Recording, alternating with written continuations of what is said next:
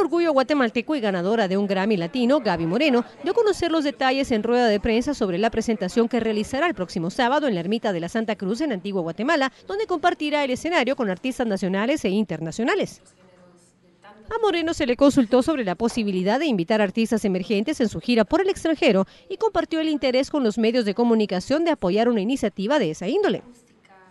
También dijo haberse sentido complacida por recibir el galardón de los Latin Grammys en noviembre del 2013 en vista de que se trata de una nueva disquera Metamorfosis. Asimismo, indicó que seguirá trabajando de la mano con Ricardo Arjona ya que es parte de la compañía productora.